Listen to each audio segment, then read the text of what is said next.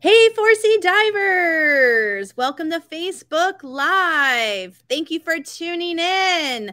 Please make sure that we know that you're here by saying hello to us in the comment section and also writing where are you listening in from? Are you here in Florida? Are you here in the United States? Maybe out of the United States? Who is tuned in and watching tonight's presentation? All right, guys. So, if you are new to the Facebook Lives, uh, my name is Nicole. I'm your social media director. Um, and uh, if you go to the website, www.force-e.com, you're going to go to the event tab and you're going to find tonight's event and you're going to want to register. Why, guys? Because if you register, you'll be put into our raffle at the end of this presentation. And we're going to be raffling off a SDI digital nitrox or enriched air nitrox um, code. So if you are not certified yet for nitrox or uh, rich air diving, we will get you the digital code so you can start learning and then you can take the class with one of our instructors. Um, and we might have a second prize to give out, but we need to see more people registering. So go to www.force-e.com, go to the event tab, find tonight's event, it's called Fish Conservation Facebook Live. Click on it and register before 6:45 because that's when it cuts off. All right, so everyone say hello. You guys need to write in the comment section, tell us hello, and give us a thumbs up. Give us a smiley face or a heart emoji. Let us know that you are loving this presentation and are entertained because when we know that you guys are loving the topics, that means we're doing something right and we'll get even um, more people to do Facebook Lives for you guys. So we do appreciate the support and you guys tuning in um, every month to listen to what we have to say. Um, all right, so we're going to go ahead and start the presentation. And guys, this is actually one I've never done before, um, not in the stores. We've never done it Facebook Live because um, I wasn't really thinking about it. And then uh, my friend, uh, Lisa Myceli, the lady who does Stoked on Salt, uh, she turned on to uh, this organization. It's called the Coastal Conservation Association Florida. And basically, she told me about them, and I said, Wow, let's go ahead and do a Facebook Live. And Lisa said, Well, let's do a paint night that kind of um, entails what they do.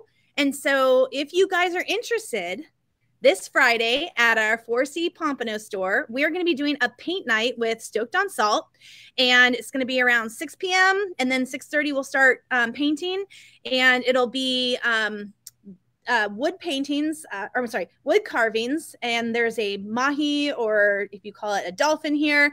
Um, she's got cutouts of those, and she's got cutouts of uh, lobsters, and um, basically you can paint and they've got hooks so that you can um, hang your dog leash off of them hang, hang a rain jacket whatever you want to do with them but it's a really fun craft and we have a lot of fun we like to um, play some music and drink some wine and have a good time so if you're interested in that um, event i will put it in the comment section you guys can click there or again go to that event tab on our website to get more details and sign up all right so let's go ahead and have Lisa. Did I say it right?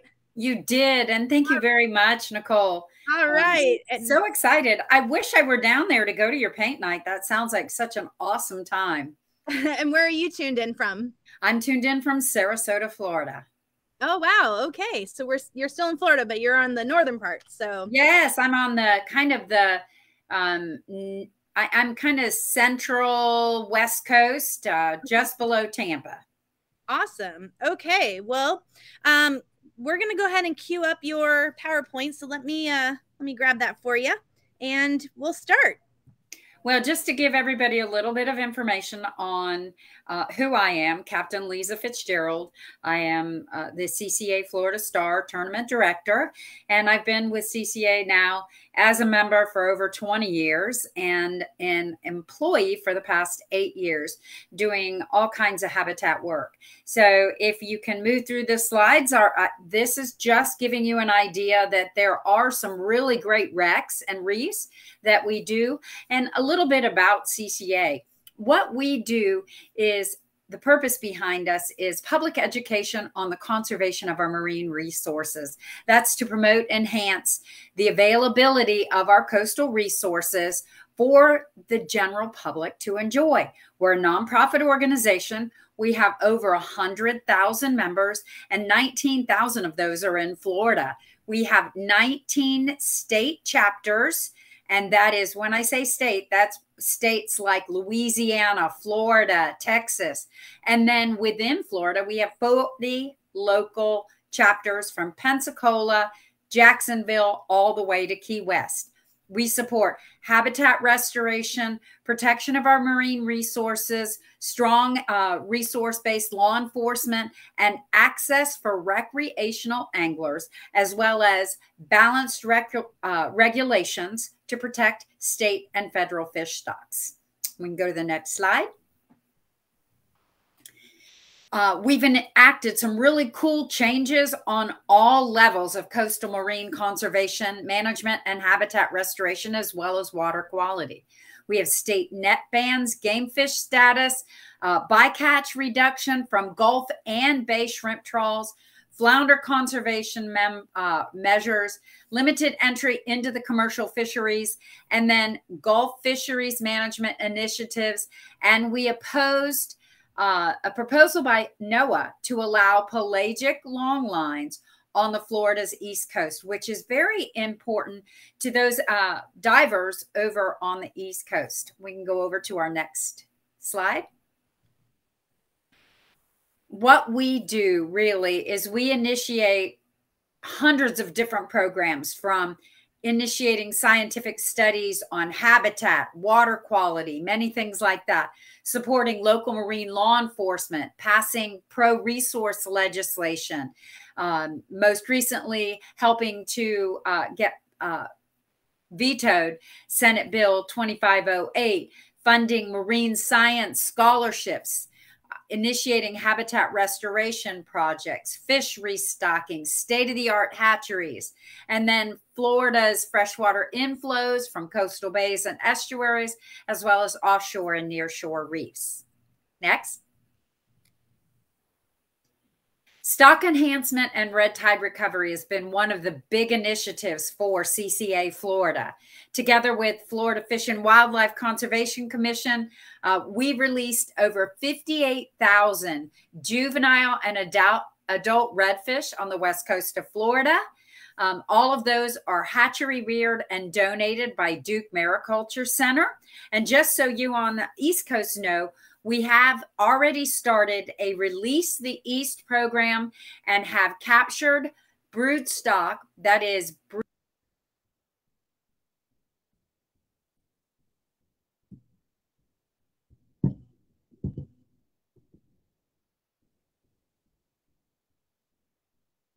Hold on, guys. We had some technical difficulties. Let's see if I can get Lisa back on. Don't know what happened to her. Gotta love technology. Give us one second. Guys, you still have a few minutes if you want to go over and register for tonight.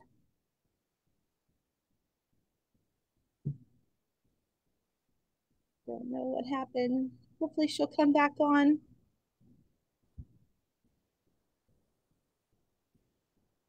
Can anybody um, give me in the comment section that you can hear me talking? Okay. All right. Here I am. There you go. I'm back. So I apologize for the technical difficulties. I'm not sure why we got kicked out, but maybe I said something I wasn't supposed to. Um, I I'll go back to stock enhancement and red tide recovery. We've done 58,000 juvenile and adult redfish along the west coast of Florida, and the east coast is ready. Uh, we have captured brood stock redfish from the east coast. We have spawned those fish and are growing juvenile redfish at this time and hope to be able to release the east with redfish in this coming year. We've also released over 5,000 juvenile snook on the West Coast and also have released nearly 20,000 spotted sea trout. So we're looking forward to helping the East Coast recover from the issues that we're having. And we're also uh, continuing to work on the West Coast. Next. We do coastal cleanups. We've had coastal cleanups throughout the entire state of Florida, cleaning more than 10 tons of garbage in some single locations. So if you have an interest in doing a coastal cleanup with your group, we're more than happy to work together with you and help initiate that. Next. We also have youth fishing clinics on the East Coast. Our next youth fishing clinic is hosted by Flagler Sport Fishing Club and will be on July the 30th in Flagler County. Um, we go and instruct youth on casting, conservation members, uh, conservation initiatives. And then we also go into the local schools and help get established elementary level um, in the elementary school, elementary level fishing clubs so that they can um, have a monthly meeting and teach conservation and conservation measures in catching fish. Next. Habitat restoration. Habitat restoration is the largest initiative for our organization. And we can move on to the next slide. In 2021, are, as you can see, the number of projects that were completed. We had over 41 habitat projects that were completed in the state of Florida. And as you can see, the East Coast has had quite a few habitat restoration projects from the Indian River Lagoon, offshore, no, near shore reefs, and we will work on that. I am very excited to say that we have done over 8 million dollars in habitat restoration projects as of 2022 with the help of our partners. We have leveraged the monies raised to over 8 million in habitat projects. Next. You can see as of 2015 we had 11 projects. As of two, 2021 we had over 40 projects so it's quite a, a, big leap um, in the number of projects and efforts that we put into Habitat. And I'm hoping that is not a reflection of what is going on with the state of Florida, but we will continue to do great works. You can move on to the next slide. Here's something that can be very, very important to our diving community is the number of artificial reef deployments that CCA Florida has deployed all over the state. These artificial reefs actually almost immediately have small juvenile fish and bait fish that make the reefs their home. And then they start to grow oysters and all kinds of different fans and marine life, which then attracts larger species and fish. And they're a great diving site. You can go to our website, ccaflorida.org, and you can find all of the reef deployment coordinates on our site. Next. This is a video of one of the reefs being deployed. Hopefully we can get that to um, show here.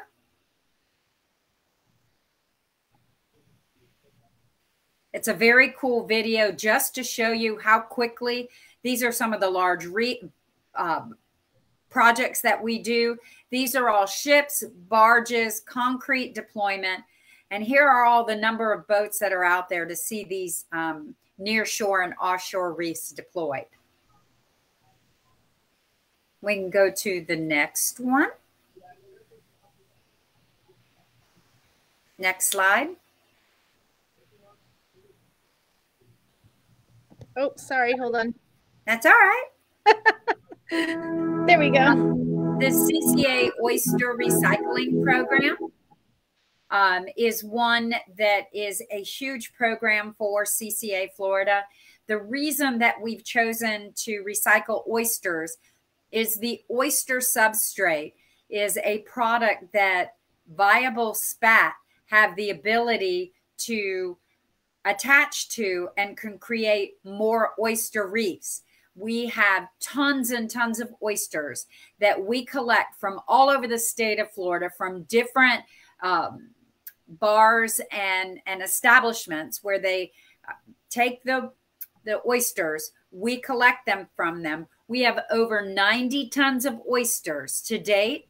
Those then are cured in the sun for up to six months so that there are no organisms left on them. And then they are recycled by putting them into uh, biodegradable packaging or, or as you can see, loose shell and put back into areas where um, it is necessary to rebuild um, shoreline stabilization and um, offshore and nearshore reefs. Some of the ones are Centipede Bay oyster restoration, the Indian River Lagoon, and our most recent oyster reef project has been in Charlotte Harbor in Turtle Bay. You can go to the next um, slide. You can take a look at that slide and we can see the video. I will tell you, oysters can clean up to 50 gallons of water a day. So one oyster can make a huge difference in our bays and estuaries, especially the Indian River Lagoon.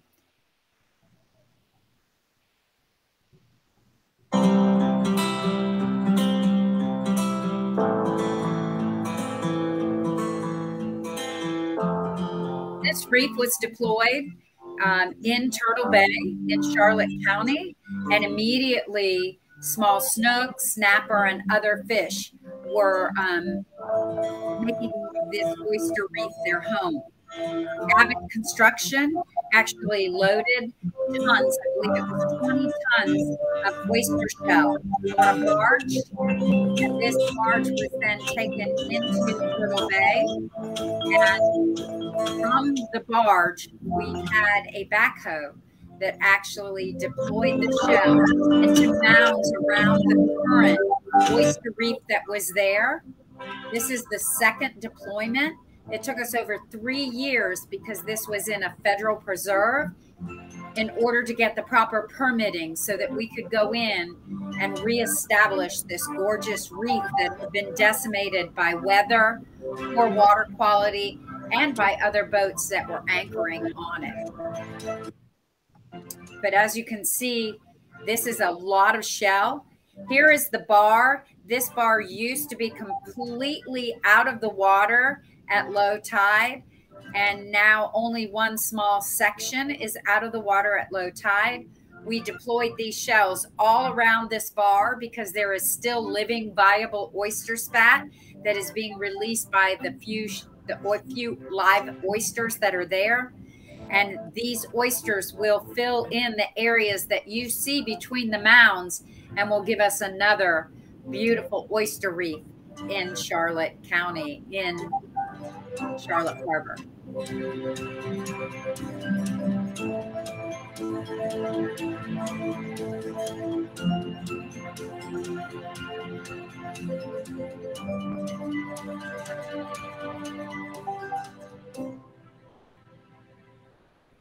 can move on to the next slide.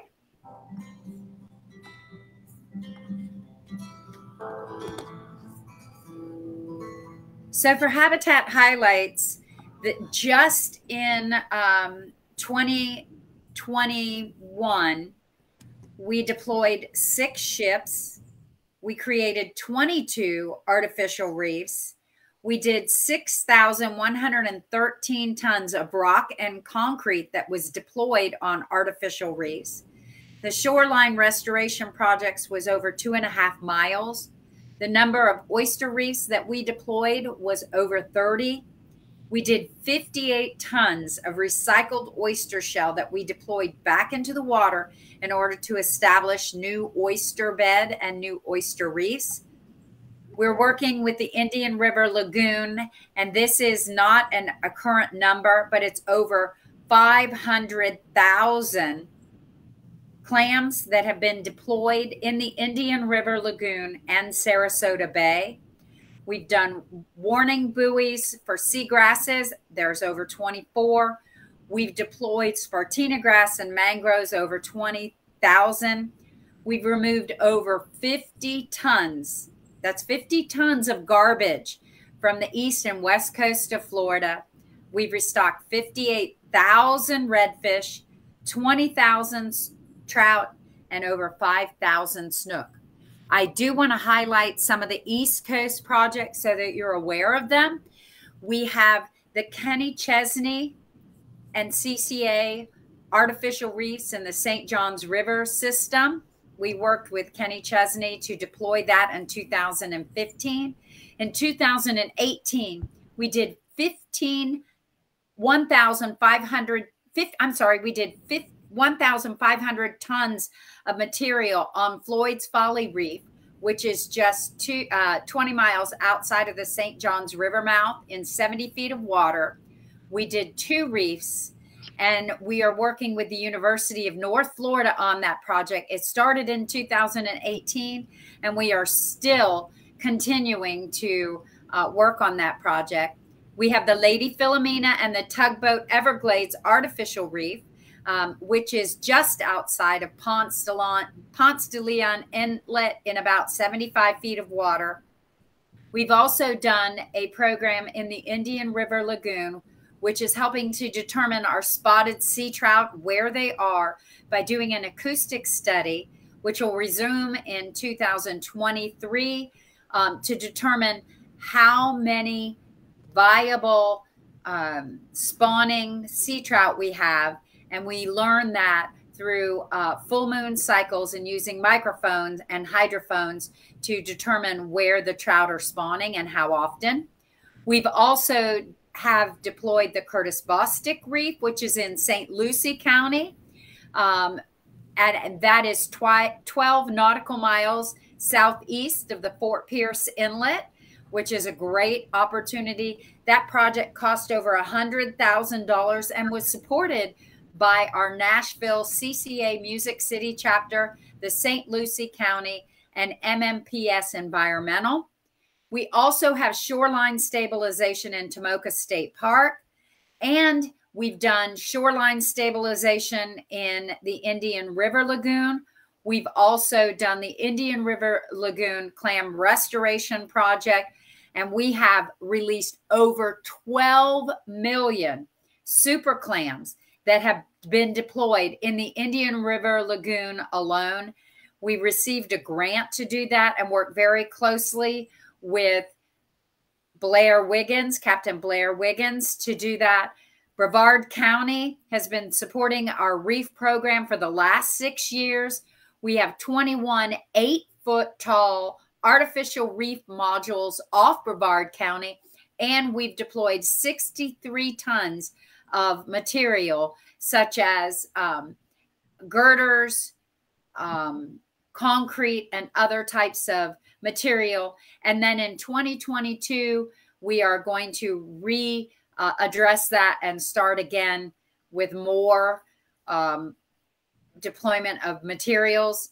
The Mosquito Lagoon Oyster Restoration um, project was in June, on June 23rd of this year in partnership with UCF, the Marine Discovery Center, Indian River Lagoon National Estuary Program, and the National Park Services, CCA, and these organizations deployed nine oyster reefs that we restored.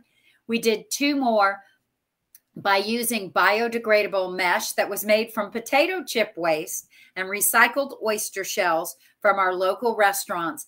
We did a 1,011 square meter area where we deployed new oysters, and those were 505, uh, 750,000 new oysters, uh, so that we can actually filter 12 million 643 759 gallons of water that will be filtered each day in the Mosquito Lagoon. That is a huge undertaking and a great opportunity to do some water quality work.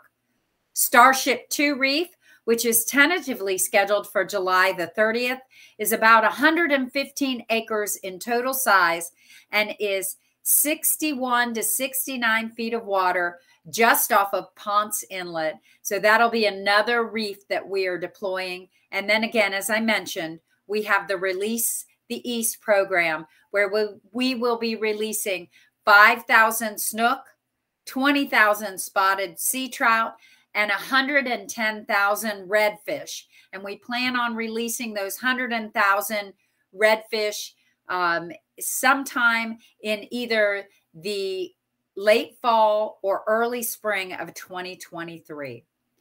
So we can move on to the next slide. we have our star competition, which is an East and West Coast competition. It is one of the largest family friendly fishing competitions on the e- on the east west coast of Florida with a half a million dollars in prizes. It runs from May the 28th through September the 5th, Labor Day. There's a half a million dollars in prizes. We can go to the next slide. There's tagged redfish, tagged dolphin. There's 167 tagged redfish that have been released in the uh, coastal waters of Florida, on average, four per coastal county. There are has already been one winner. If you recapture a tagged redfish and you are in the competition and a CCA member, and you follow the regulations, you have the opportunity to win a brand new Pathfinder, Contender, or Spider Vapor or potentially $50,000 cash. The gentleman who caught his fish just about a week ago was in Charlotte Harbor. He was a CCA member, he was registered in the competition. He followed all the rules and he won a brand new Pathfinder with a Yamaha motor valued at over $80,000. We can move on to the next. Since 2010, our organization has taken over $850,000. It's up over a million now for 2022. And we have leveraged that to create over $8.5 million in habitat restoration projects. I apologize, this slide was not updated as of this, um, as of 2022 but it is over $8.4 million in habitat projects that CCA Florida has uh, put back into the coastal waters of Florida. So I do hope um, that if you are watching tonight, that you take the opportunity to visit our website, ccaflorida.org, and, and get yourself registered as a member. Participate in the competition and change the future of Florida's marine resources by practicing conservation, not only while you're catching fish or while you're diving. And as divers, please know you have a lionfish division in the STAR competition. So you can spear those lionfish and enter them in the competition and win some amazing prizes. Um, that goes through September the 5th. Next. So there we are. Please take a moment, go to our website.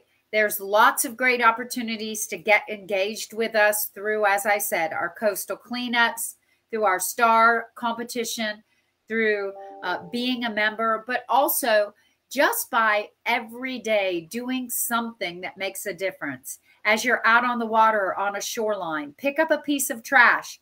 If you're diving and you see a fishing line wrapped on a reef, Take your dive knife, cut it free, and put it in your bag.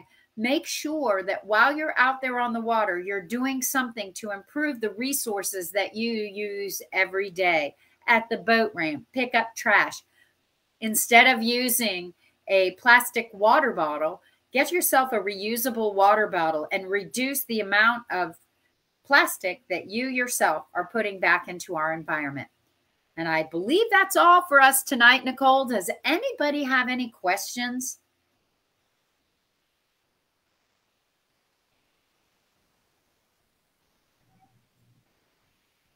All right, hold on. Let's see. there we are. Awesome. Okay, so let me pull up because I got the website. There's the website, everybody. and what she was talking about is going over here and you want to register, which I think was this one. Yep. So this first slide here to that um, register today, hit that button, and that's how you guys get involved. And this is what the tag looks like, you guys. You can see it on the this fish here. That's a redfish, right? yes, that is our redfish. There, okay. the, this year's tags are white. So you would be able to win by catching a fish that has a white tag. But if you catch a fish, this is the eighth year of the competition. If you catch a tag fish from a previous year, it is also a thousand dollar prize package from Engel Coolers. Wow, that's amazing. You know, uh, and Nicole, to date, uh, the Star competition has awarded over seven hundred thousand dollars in college scholarships to youth just for catching fish. Wow. And um and so a lot of people are probably going, Nicole, why did you pick, you know, to talk about like the redfish and the oyster and stuff like that? Well, guys, this is all um about our environment that we like to dive in. This is all interconnected because if we don't take care of our waterways and our fish stocks, then um, it will trickle down and get into our coral reef fish, right? And the quality that's out on the corals, uh, on the reefs um, out here in South Florida. And if you know a little bit about my background, I have been involved with a lot of different projects here in South Florida with government projects, um, non for profits. Um, and the biggest thing that always comes through is water quality guys, we can't save fish. We can't save corals. We can't save all the animals that you love to see when you're scuba diving if we don't have good water quality.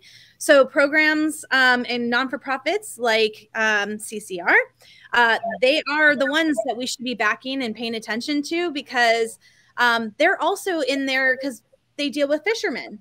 And a lot of times, the fishing community, if you put a lot of pressure on them to take away something that they like to fish they like to push back and and say no no no. So we want to try and get the fishing and the diving community to come together. And this is a great organization to do that with. So thank you so much.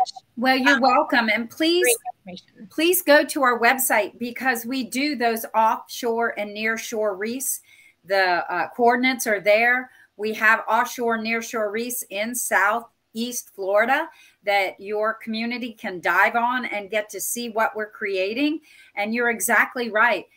Please remember the fish that you are seeing out on your reefs and your wrecks, oftentimes their nurseries are inshore. And mm-hmm. so we want to make sure that the mangroves and the oysters and all of the areas that fish need to have their, you know, their nurseries are healthy in order to um, have better fisheries out in, uh, in, in deeper water. And we also work very hard with uh, other organizations to make sure, as I said, the longliners no longer can come into your area out there, which can cause problems if you're going out to dive and you run across one of their long lines. Uh, mm-hmm. Uh, second, secondly, we also work with the fin fish and the bait fish, and we've been trying to help manage um, and get some new um, initiatives with that so that we have bait fish for our offshore fish. Absolutely. And um, if you guys have been diving lately, uh, you'll notice that um, right now is the season for a little, little baby fish. Um, they're starting to get bigger and they're all over the shallow reefs right now. Um, and then also, if you look up when you're diving, usually all the bait fish is circling around. So everybody has a purpose in the environment, in your ecosystem. So we have to make sure that we are not just looking at the big fish, like the prize fish, but also the bait fish as well. Because if you have a you know destabilization of them, uh, then you're not going to you know have a good healthy ecosystem. So, and I would um, encourage your divers to actually. I know that harvesting lionfish, a lot of people like to harvest them for for meals, but get involved in the star competition harvest your lionfish, take pictures of them, sub- submit them through our app, and they can win some really cool prizes. That's awesome. Well, we do a lionfish and cleanup dive every month. So we just had a big derby in our Boynton Beach area. Um, we're going to do another one on August 6th. And actually, we're going to pair that with the opening season of lobsters. So Oh you can do goodness. lobster, lionfish, and clean up the reef all in one. And you can go and dive with us. Uh, we'll be here in Pompano Beach with uh, dive instructor Adam Nardelli. He's actually a graduate student who did his um, thesis on uh, lionfish. So he's a wealth of knowledge. And he actually did a Facebook Live. So if you want to see that, you can go to our um, YouTube channel and check out his Facebook Live.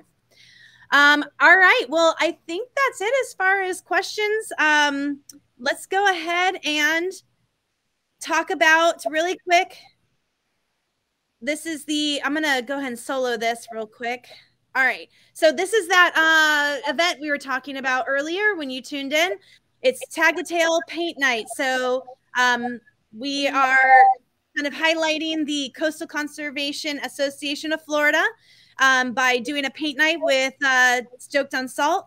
That's going to be here in our Pompano store on Friday, um, 5.30. Come socialize, shop, and then 6 o'clock we will start um, doing our um, painting, and we'll have some pizza and some cold refreshments, and we'll have a lot of fun. And um, to keep the the paint night going, I guess uh, Lisa wants to do a trivia quiz to see how much you learned after you've listened to the Facebook Live. So if you need to rewatch our Facebook Live tonight, it lives on our Facebook page or it's on our YouTube channel. All right. So we talked about um, if you registered and we were going to do a giveaway. So here is the list of people. Let me go back out. Here's the list of people who registered for tonight. So let's see who wins. Our Enriched Air Nitrox digital code goes to Eddie, Eddie McCormick. If you're watching, give us a thumbs up. Let us know that you are watching and you are going to get that digital code sent to you. So watch for an email from me. And guys, I'm feeling very generous. So let's go ahead and give away one paint night for this Friday spot. So let's see who wants to come to paint night. Kathy Archie. Kathy, if you're listening, give us a thumbs up. Woo! All right. So I will get in touch with the winners from tonight and uh, we'll make sure that um, we get your digital code and the paint night all set up so you can. Oh, Eddie's saying pay it forward. So Eddie says we can uh, we can do another one. I guess Eddie, you're already certified. all right, let's see. All right. Jenny, Jenny Willis, if you're watching, you are a winner. Woohoo! All right. So, oh, I guess I didn't have it up, but here's the winner. Hold on. Doop, there it is. Jenny, you're the winner. Yay, Jenny. Okay. All right, guys. So, um, thank you, Eddie, for paying it forward. Um, and everybody else, um, you know, we always have some great presentations. So make sure that you're on our newsletter and that you are tuning in. When you see that button says Facebook Live 4C, make sure you click that and watch us. Thank you so much for a great presentation. Thank you, for having a wealth of knowledge about what's going on here and your organization is amazing and we look forward to doing more with you in the future and uh, guys let's go out and go diving see ya Bye.